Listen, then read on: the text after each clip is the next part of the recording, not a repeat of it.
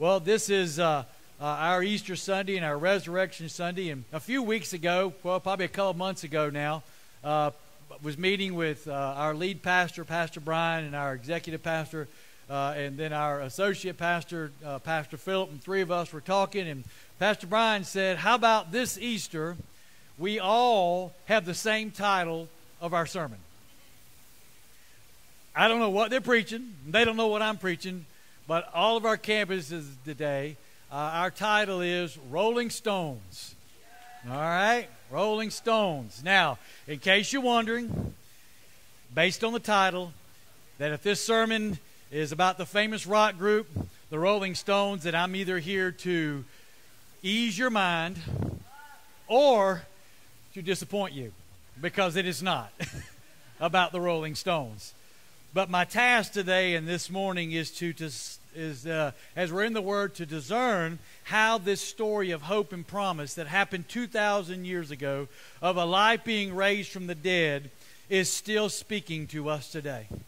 You know, it's not something old. It's not. It's not just you know, all back then. No, we live just as excitement in the resurrection as if it happened this morning, and that's the way we want to live our lives in that. And so, uh, for that is what it makes what I make, it makes a living story. It's, it's a, a story that brings life, a story that remains relevant now after 2,000 years.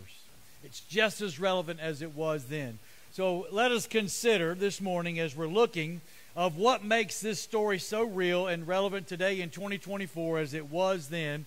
And I would imagine that as we're doing going through these verses, these are verses that you probably have heard your whole entire life if you've been in church you probably have heard these stories. And, and you know, I imagine that uh, the most of us can recall a time in our lives when, uh, when we were standing in the face of something unknown.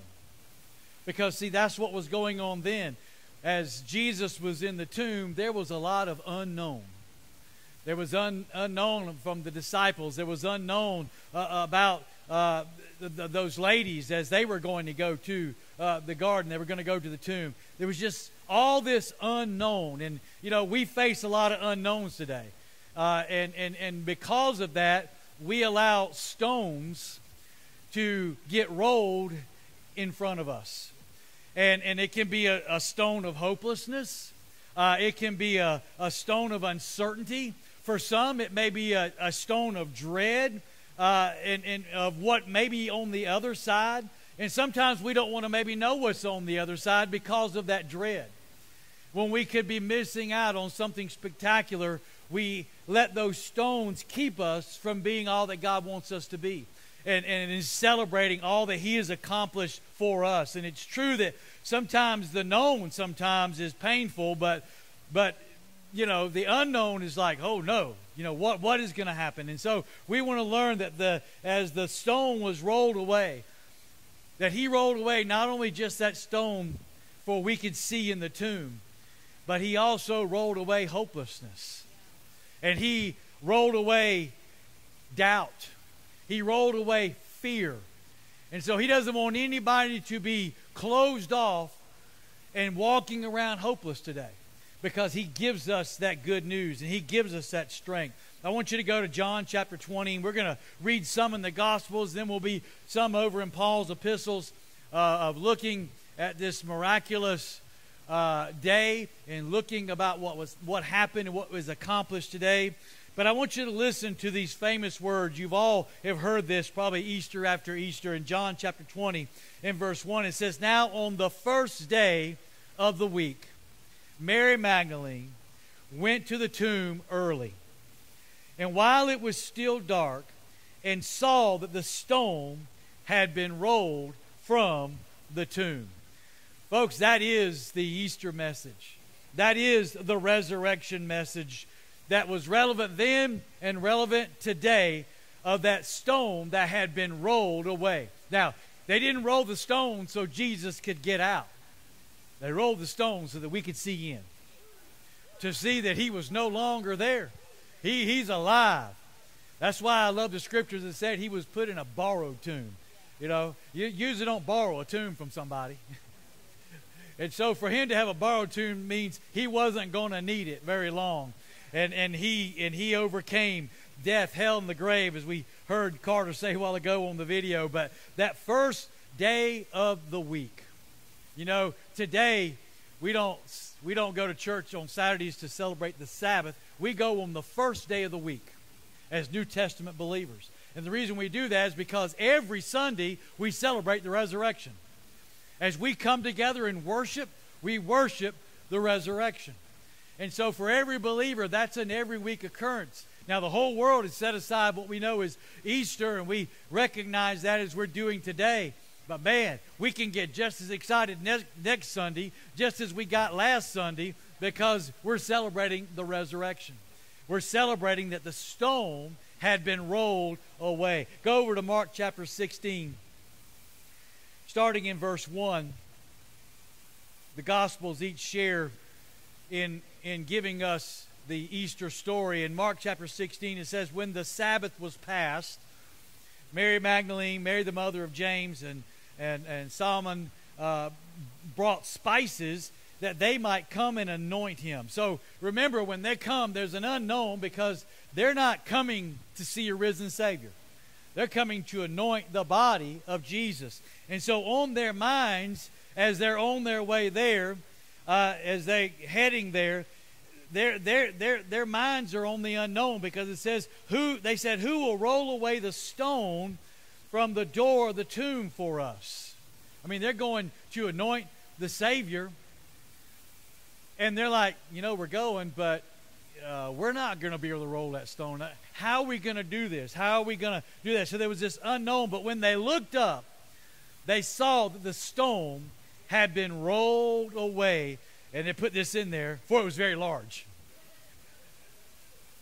And so it, it, it wasn't like, you know, just, you know, open the door or just move it over. This was a large stone that was placed as a barrier and, and so they're trying to figure out how they're going to do this. But when they get there, the stone is gone. And according to Matthew, it was an angel of the Lord that came and rolled away the stone. And, and I actually heard a preacher this week, and uh, I was listening to a, a, sermon, and he was like, and we don't even know who moved the stone. It could have been the soldier. I'm going, man, read the Bible. It says that the angel of the Lord moved the stone, you know, and but you know, I bless the hearts. Uh, studying goes a long way sometimes. It really does, you know. And so, you know, as the angel of the Lord came and, and did this, in doing so, the fear, the unknown of those first disciples turned to freedom. Something had happened.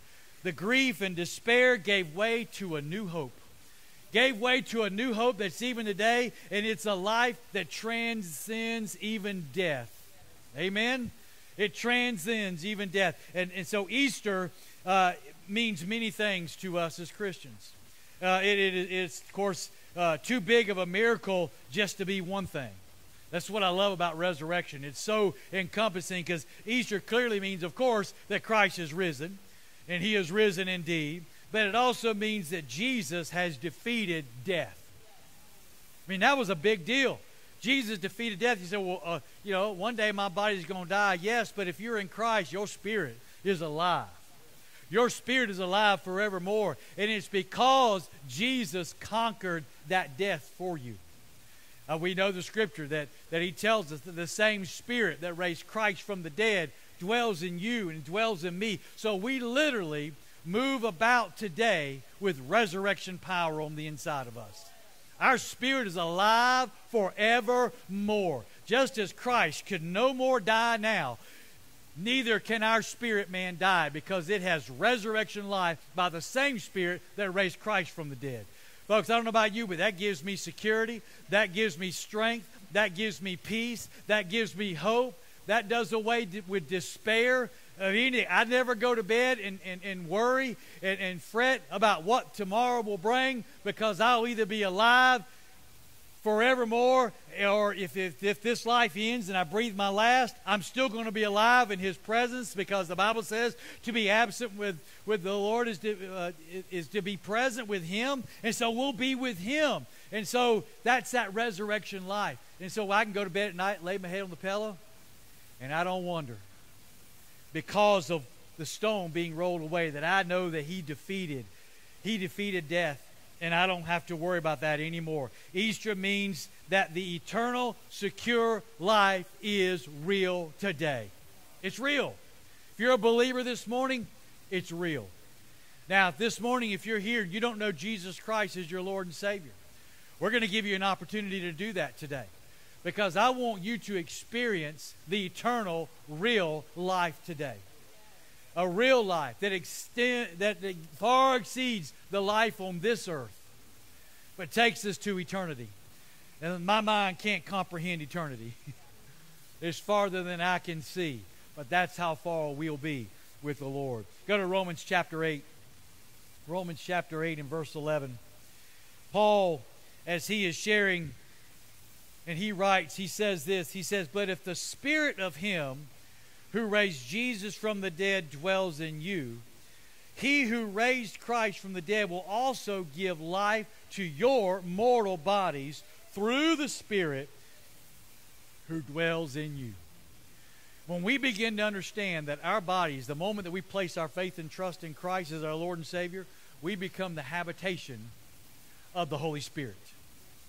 In other words, the Holy of Holies is right in here. It is in you, it is in me. You know, it's not just for the elites, it's not just for those Christians that maybe we see on TV, or maybe just the ones that we you know, see the, the miraculous things, the, the pastors of the mega churches. No. If you're a believer today, He's alive in you just as much as He is any of them. And so we need to get that in our spirits and understand that, that He has raised us up. And so, just as that Spirit raised Christ from the dead to never die again, as we said, that's where we are today. But that stone being rolled away from the tomb it, it, I love the details that's recorded in all four Gospels, and you know, and they kind of give their own little little twist on it, and it tells us something uh, about Easter that's quite significant, and that is the stone being rolled away tells us on that Easter about all the ways that God removes obstacles. He was removing obstacles. There's nothing that stands in your way that can keep you from being in a place to receive Jesus Christ as your Lord and Savior. Every obstacle that was there has been taken care of. Every obstacle. The veil was torn in two. That was our access. And it tore from the top to the bottom, not from the bottom to the top. God is the one who split it. He opened the way. He opened the way so there would be no obstacle for us to be able to come. The Bible says to come boldly to the throne of grace. Boldly. I love boldly. That's not arrogantly now. We come boldly. What does that mean? Well, my parents are here today with us this week as as they've been traveling and preaching around and have a couple weeks off, and then they'll soon, man, coming up in April, they're going to be in California. Boy, woo, California needs Jesus. Yeah. so they're going to be they're going to be in California coming in April. But you know, when when even today, even though I'm I'm no longer living in their in their home anymore, I am able to come to them boldly. I come to their house boldly. Matter of fact, I don't even knock. I have access. I just open the door and come in. And when I go in, if I'm hungry, I don't go, is, can I have a morsel? Can I have just a little something? No. I go in the kitchen, I open the cabinets, and I pull out what I want. And I, and I, I don't hesitate. Why? Because I have access to come boldly into that home. Now, if I come in there sitting on the couch and I go, You got steak? No steak. Well, I didn't come over here for nothing. I came over here for steak. That's coming arrogantly. And then my dad would say, Well, you know what? You, the same way you came in, you, you, you're welcome to go back out and, and go get you a steak but we don't have any steak here. But no, we would be becoming arrogant. So we come boldly knowing that we have the access, that whatever's available to us in that home is ours because we come with that boldness. Well, that's the way when we come into the Holy of Holies with God, we come into His presence today, not with arrogance of, give me what I deserve, give me what's mine, God. I don't ever want God to give me what I deserve. All I want is His grace and His mercy in, in my life. But when we come in, we can come in with boldness and access to know that what we need, all the obstacles have been removed. And so the obstacle of the stone being rolled away is significant with us because everything that needed to be accomplished was accomplished by Him, and He got rid of all those stones. So I want to invite you to think about all the stones that come up in our life. Boy, even after we're saved, we'll allow stones to get rolled over in front of us stones of doubt, confusion, fear, sometimes guilt, sometimes shame. And, and, and we're not able to walk. The Bible says that we have been given the victory through Jesus Christ, and we missed out on the victory because we're walking around with that stone of shame of that unknown in front of us, and we miss out on walking in victory. Because He doesn't want us to walk in victory just on the first day of the week. He wants us to walk in victory every day of the week. Every day. No matter where I'm at, that I walk in the liberty with what He has given in my life and those obstacles that are that are keeping us from living. And the Bible says He has given it life, and He's given it to the full. That's an abundant life. That's not just for the sweet by and by, but even today we can walk in that fullness of an abundant life.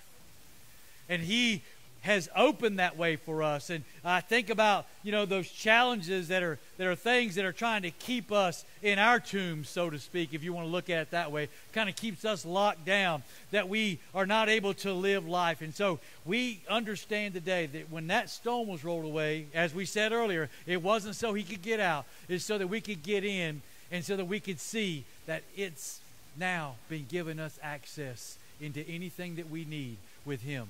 Our healing, our salvation, our provision, all of that. You know, we use that word salvation, the word sozo. That's all encompassing of everything that you will need in your life as a believer. You get it the very moment you get saved. You know, it's not like one of those deals where you get saved and then you know, he watches you for three months, and, and after that trial, he'll give you a few more blessings, and then, you know, he'll watch you a little bit longer, and maybe after you've been in this thing about a year, he'll decide that maybe healing can be accessed by you, and, and, and so uh, unless you didn't do right, and then you'll have to wait till the next year to, to kind of, you know, try to qualify again. No, all the qualifications have been taken care of. That's what grace is all about. That's what he's done for us. And, you know, the risen Lord, as he comes and enters our lives, even in the tombs of our life, he wants to roll away all those stones. Get rid of it. Don't leave here in fear today. Don't leave here in guilt today. Don't leave here in shame today. Don't leave here in the unknown today. It doesn't matter what you see on, on, on, on, on C SPAN and, and MSNBC and Fox News and any other news that you listen to today. You don't have to listen to that and walk around and fret and worry and fear and, and frustration. You can walk today in victory because the stone is rolled away and He is alive and He is the King of Kings and He is the Lord of Lords. And so I don't look to what, what the government says, I don't look to what Washington says. I look to what the Word says, and that's in victory. And I want every believer to walk in that. Now, the world ought to be confused. The world ought to be in, in, in, in, perplexed. The world ought to be all messed up today. But you and I, as the church, we know the secret because we have seen in the tomb and he's not there. Now, if you're worshiping, if you're worshiping Muhammad, then you can go to the tomb and, and talk about how it used to be. But he's, he's still there, but not with Jesus. The tomb is empty and we have seen it through the stone that is rolled away. Go to 1 Corinthians chapter 15. 1 Corinthians chapter 15, starting in verse 12. Because, see, what we've been given as those stones are, are rolled away in our life of the guilt and the, and, the, and the fear and the shame and the discouragement is now we want to proclaim to the world the good news. I mean, if somebody had a, if somebody came up with a cure today for cancer and said, This is it. I mean, we wouldn't just kind of just put it up somewhere. Especially if it's one of our loved ones that maybe was experiencing cancer in their life. We wouldn't say, Ooh, I know a secret. I, know a secret. I have a pill that can get rid of that. No, man, we'd be out giving it to everybody. Well, we have something far better than a cure for cancer. We have the cure for sin. We have the cure for separation from God forevermore. And the last, it ought to start with our family. We ought to make sure our family hears the gospel. We ought to make sure our family knows who Jesus is. They, we, we, we, we share the gospel. It is for them to receive it or not receive it, but they ought to hear the good news from us. So we got to proclaim it. Here in 1 Corinthians chapter 15, starting verse 12, he says, Now, if Christ is preached that he has been raised from the dead, how do some among you say that there is no resurrection of the dead? Now, that was going around as Paul was writing this that, that Jesus wasn't really raised. Do you know there's people today that don't believe in the resurrection? Nothing new under the sun. He says, you know, if we're preaching this, that he's been raised from the dead, how do some say that he's not raised from the dead? He says, but if there is no resurrection of the dead, then Christ is not risen. Makes sense. And if Christ is not risen, then our preaching is empty, literally in vain. And our faith is empty. Even our faith. I mean, we'd be foolish to show up here today, celebrate something that never happened if there's no resurrection. If there's no resurrection. And so he says our life would be empty, our preaching would be empty, our faith would be empty. Yes, and we are found false witnesses of God. We'd be false witnesses, going around telling people that he was raised from the dead if he wasn't. We'd be false. He says, Because we have testified of God that he raised up Christ, whom he did not raise up. I mean, what a message. If in fact the dead did not rise. For if the dead did not rise, Christ is not risen. And if Christ is not risen, your faith is futile. And you are still in your sins. See, that, that, that tells me right there that when I understand the resurrection and I've placed my faith in that good news, that I am no longer in my sin. But I would be had he not. As he shed his blood for the remission of sin, had he just died for our sins, it wouldn't have, it would have only been a half job. He had to be raised again and the Bible says he was raised for our justification. Well, that's one them big churchy words. It literally means to be made just as if I never sinned. I can't explain that one. Boy, that, that's too much for this little mind of mine to comprehend that, that when, when, when God looks at me, he doesn't see sin, he sees his son. That's what he sees. Yeah, but what, what, what if I mess up today? When he looks at me, he sees his son. And that's the victory that we have. And so we're not our faith is not futile. We're not still in our sins. He says, he goes on to say, then also those who have fallen asleep, those who have passed away that were in Christ have perished. That means all those that, that were believers that have gone before us, that's it. This is why when I'm doing a funeral of someone who I know is a believer, I'm able to give hope. Because those who are believers, this is not the end. We're talking about eternity. This is not the end. This is not the end at all. And so, eh, but if there's no resurrection, then those who have died in Christ have perished. He said, and if in this life only we have hope, then we are all men most pitiful, miserable. We would have nothing to be excited about. This is why, as a believer, I don't walk around in misery. Why?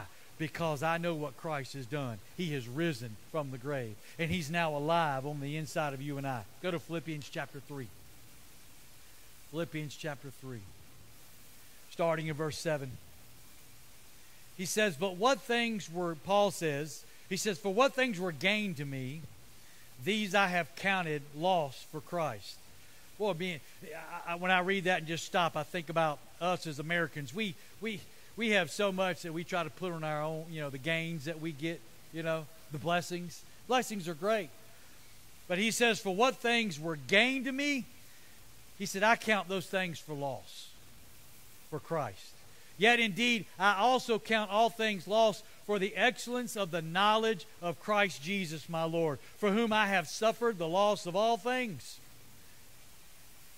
He said, And I count all that as garbage, that I may gain Christ and be found in him, not having my own righteousness, which is from the law, but that which is through faith in Christ, the righteousness which is from God by faith, that I may know him.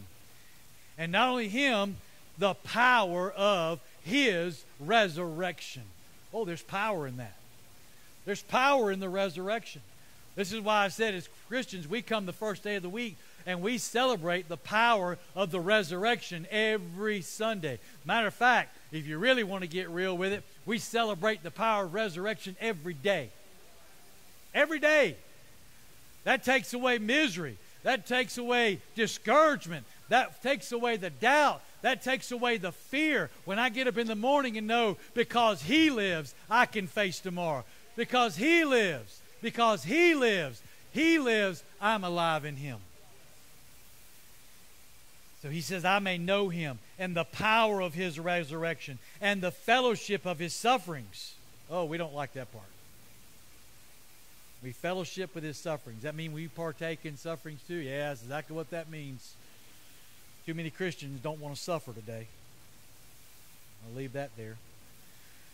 He says, being conformed to his death, if by any means I may attain the resurrection from the dead. Paul, he put everything on this resurrection. This is this, I'm banking it all on that.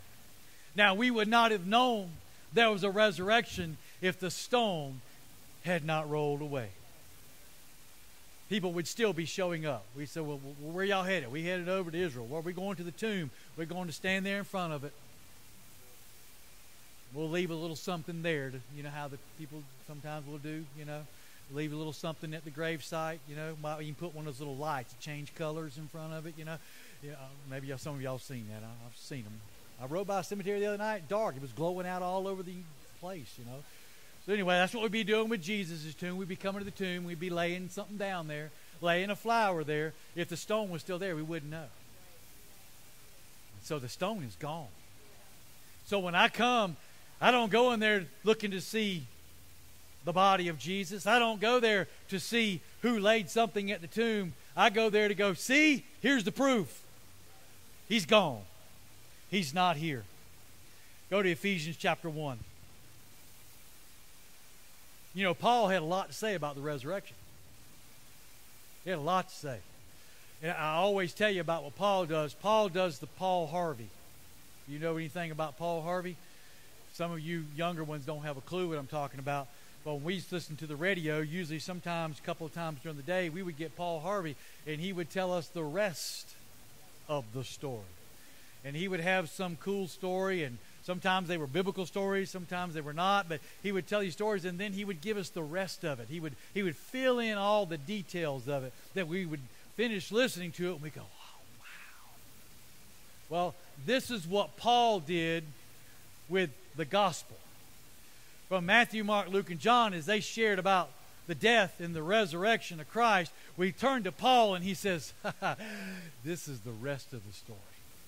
Let me give you the inside details of the importance of him being raised from the dead. And so Paul said in Ephesians 1, starting in verse 17, he says, This is a prayer that he was praying over the people, and we pray it over the church today. He said that the God of our Lord Jesus Christ, the Father of glory, may give to you the spirit of wisdom and revelation in the knowledge of him, that the eyes of your understanding being enlightened that you may know what is the hope of his calling. What are the riches of the glory of his inheritance in the saints? That's you and I, folks. And what is the exceeding greatness of his power toward us who believe, according to the working of his mighty power, which he worked in Christ when he raised him from the dead and seated him at the right hand in heavenly places, far above all principality and power and might and dominion and every name that is named. not only in this age, but that which is to come. And he has put all things under his feet, and gave him to be the head over all things to the church, which is his body, the fullness of him who fills all in all. Church, we need that today. We need that revelation today. We don't need the information, we need the revelation because revelation will bring transformation. And that's what we want in our lives. I don't study the Bible just to get information. I get information, but that's not why I study it. I want things revealed to me by the Holy Spirit that literally can transform my life, that can change my life. And when you read these words of, of, of, that, of that he was raised from the dead and now he is seated at the right hand of the Father. And he also goes on to tell us in Ephesians that because you and I are believers today, we have already been seated with him in heavenly places in Christ Jesus. You're already there if you're a believer. I, I, I can't comprehend that. I can't I can't explain that. But you know what? I don't have to explain it. His word says it. I believe it. That settles it. If I don't believe it, it's still settled. Whether I believe it or not, it, it's, a, it's a deal that's done. We have been seated with Christ in heavenly places. That's where He is now. And so we're seated with Him. What a, a marvelous story because of the resurrection. It's all because of that. And so, the ultimate act of faith, Jesus Christ rose from the dead in order to keep his promise to be in relationship with us. That's what it's about. Each and every day that we get to walk in that fullness that the stone is gone and he ain't there. Look at Romans 8. Oh, I love Romans 8. Romans 8 so good. I'm telling you, if you if you're if you got the blues, the blahs, and the mother grubs, and you having a bad day or a bad week or a bad month, just go read Romans chapter 8. Because if you can read Romans chapter 8 and leave there still with the blues and blahs and the muddy grub, muddy grubs, you need to go ahead and just get saved. So you don't have to walk there no more. Listen what he says. Verse 35, Romans 8. Who shall separate us from the love of Christ. Who, who, who, who's going to do that? Shall tribulation or distress or persecution or famine or nakedness or peril or sword? Then he quotes from the Old Testament, as it is written, For your sake we are killed all the day long. We are accounted as sheep for the slaughter. Yet, in all these things, Say all these things. We are more than conquerors through him who loved us. So you are victorious today. You're more than a conqueror. Now, I always like to share what more than a conqueror is. Everybody knows what a conqueror is. You go, you battle, you win, you're a conqueror. More than a conqueror is somebody else's fault. Somebody else took it and won the victory and then gave it to you. You're now more than a conqueror. You didn't work for it. You couldn't work for it. You didn't earn it. You couldn't earn it. It's freely given by grace. For by grace are you saved through faith. Your faith in what Christ did for us puts us in this place that we are now more than conquerors through him who loved us. Paul says, For I am persuaded. Oh, folks, if the church today could get persuaded, could get persuaded, we'd st- we, we'd quit walking around with, with those blues, the blahs, and the mully grubs. We'd quit walking around losing our ever loving mind when something happens on the news. We would, we, when something happens in Washington, when something ha- we would be fine because you say, I am persuaded. That neither death or life, nor angels, nor principalities, nor powers, nor things present, nor things to come, nor height, nor depth, nor any created thing shall be able to separate us from the love of God which is in Christ Jesus our Lord. Woo! That is the power of the resurrection. That is the power that we have. There is nothing, nothing, nothing. I don't care what you're being faced with today. You need to know that that stone has been rolled away. It is gone. That is our faith. When we hear that, the Bible says that faith comes by hearing, and hearing by the Word of God. And so when we hear that today, let the Word of God produce in you faith. Because there's a lot of things that we could say would please God. Matter of fact, a lot of things we think that pleases God. How big our prayers are. That's pretty important. How much word that we know. Pretty important. How many times we attend church services. Pretty important. But he, he says, without faith, it's impossible to please God. What he's looking for in us as believers is faith. So when we hear these words, when we see these scriptures that we're going to today, it should be producing in us faith. And faith has action behind it because faith doesn't sit still. Faith is an activity. And so I can move forward. I don't have to stand still. I can do what God has called me to do because I am now walking, I am now living, and I am now moving, and I am now breathing in faith of everything that He has said to us, the church. And I take it all the way back to the fact that He rolled that stone so I could see that this is real. This is real. That's our faith. That's what we celebrate today. And the only way to be a successful Christian, we can be a Christian, but the only way to be a successful Christian is to be a Christian living by faith. If you're not living by faith, you're not going to be successful. You're going to be doing this. Now, I love roller coasters. But when it comes to my spiritual walk, I am not interested in this. I'm interested in that.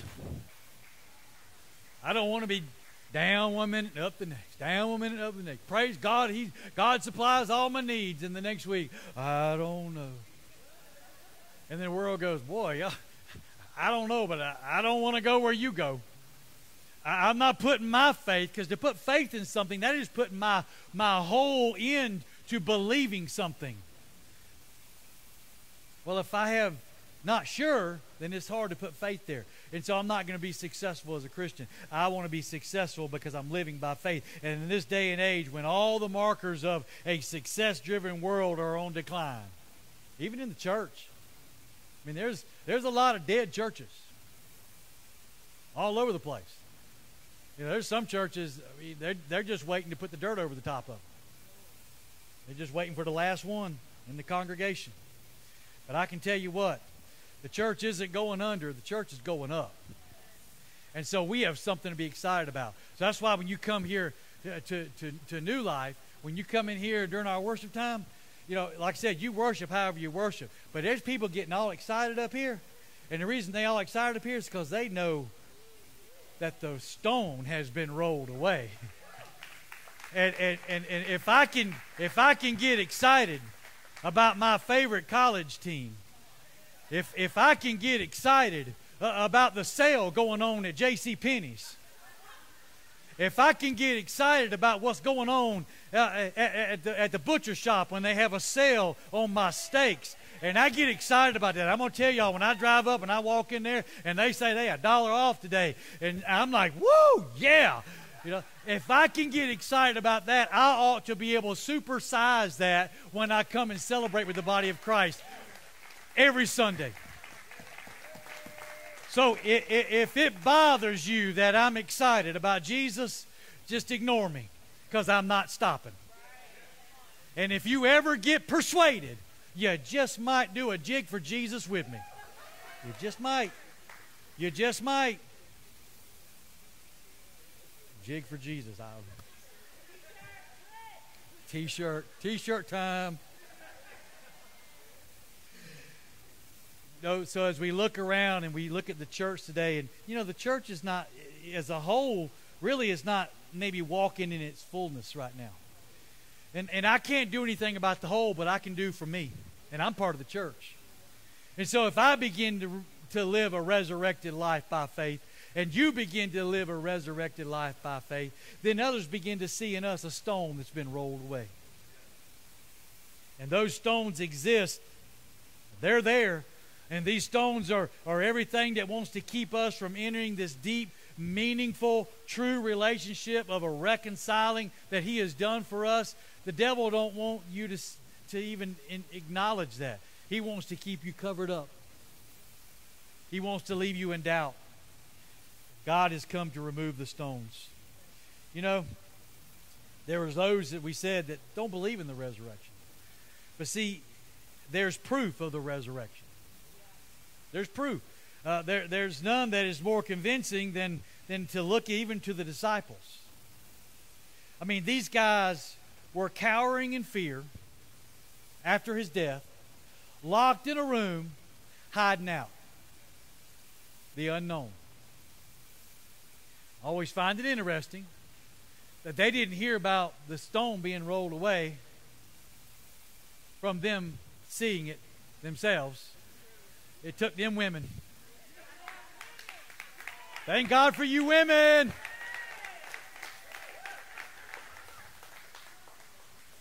They may not have known what they were showing up to the tomb for, but at least they showed up. The disciples, the guys who spent three and a half years with him, are cowering in a room, hiding out. But after the experience of the resurrection, they were no longer afraid. They, they were willing to, to do whatever it took, even for their own death. This is what happens when you get persuaded. That you're, willing to do whatever because now you know a secret that has now been revealed. And see, and that's what happens to you and I. You, may say, man, there's no way I can tell people about Jesus. Yeah, but when you truly experience the resurrection life, you're not, you, you can't help it. You can't help it. You got to go tell somebody. You got, you got to. You can't help it. They became more fearless than, than, than ever imagined. I mean, these guys, I mean, Peter, who's denying him over here, is literally standing there preaching before 3,000. Now, that's just another message in grace right there because I can promise you, if I were the Lord, Peter would not have been my guy. He done denied me. Not once, not twice, but three times the lady. And I just tell you, uh, Lionel Richie, sorry about that. But after the third time, I can promise you, when it came for the day of Pentecost, I'm not looking to Peter. But see, Peter had experienced now something, and that is a tomb that the stone had been rolled away, and he wasn't there anymore, and he knew things had changed. And so he became a different person. It affected Peter differently. He used Peter's gift. You know what Peter's gift was? He liked to run his mouth. And so what did he do? He let him preach to 3,000 people. Let him have people get saved. I wouldn't have done that, but that's, that's God. That's why He chooses to do things the way He does it. Those first disciples, it changed. It will change your life when you get persuaded about the resurrection. Your stones that the fear and, and I can't do will all be rolled away, and it'll give you freedom. No one was more fearless than that. No stone that this world rolled in front of them could stop them now. Not even prison. You put Paul in prison, what does he do? He just starts witnessing to the guards threat of death. To live as Christ, to die as gain. Nothing else in this world. That's a miracle, folks. That's part of the miracle of the resurrection. You say, well, what changed? How can they go from cowering? How can they go? Because the stone was rolled away and he was now alive. There was the unknown. See, sometimes the church walks around maybe not truly convinced that he rose. Almost like we're watching a, a boxing match with 15 rounds and we're hoping that the Savior can pull this out. I hope, I hope, man, it's not looking good. No. The, the fight's already gone. And it wasn't even 15 rounds. He got thrown out of heaven like lightning. So then when he comes, then when Jesus comes, he gives his life. He's dead. I, I know that the, the devil probably thought, finally. And then Sunday morning came and messed up his plan, messed him all up.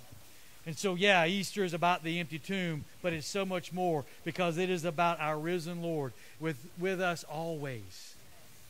And, and, and He wants us to roll away all the obstacles. He wants to get us freed up. He wants us to keep us out of bondage. And He wants us walking in what we need to be walking in. Amen? So I'm going to tell you this morning don't be afraid. Don't be afraid. Trust in the Lord. Don't doubt. Trust in the Lord. Don't worry about don't worry about Washington D.C. Trust in the Lord. Don't worry about whatever's happening today. Trust the Lord. Why? Because He's alive. How do I know? Because the stone's gone. The stone's rolled away. I can see in there. He ain't there no more. When we believe in that, when we place our faith and trust in the fact that He died, was buried, and rose again, it changes everything. Whatever that stone is in your life today that you put up as an obstacle, don't don't don't leave here with that stone today. Roll it aside. Move it aside. Walk in that victory. If you're here this morning, you don't know Jesus Christ as your Lord and your Savior. Listen, your greatest need is not money. Your greatest need is not to be healed. Your greatest need is Jesus to be your Savior. That's your greatest need. And the good news is, because of the resurrection, He's not wanting you to work to get salvation. He's not wanting you to earn salvation. As a matter of fact, you cannot. He's not wanting you to be real, real good to get salvation. There's none that's righteous. No, not one. There's none that seeks. Matter of fact, we've all heard these testimonies of people, and I know they mean well when they do it, and they share a testimony, and they get up and say, Man, there was just this one day. I just decided. Nope. You didn't just decide nothing. Long before you was deciding, the Holy Spirit was already drawing. He was already drawing. You just chose to accept the call and to believe. And your faith is what brings that salvation today.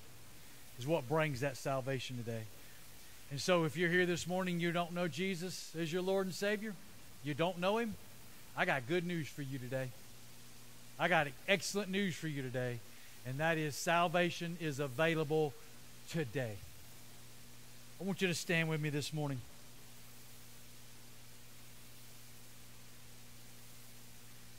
You're here this morning and you're, you've, you've never entered into a relationship with the Lord. You don't know that if you died today, whether you would be with the Lord, because you don't know.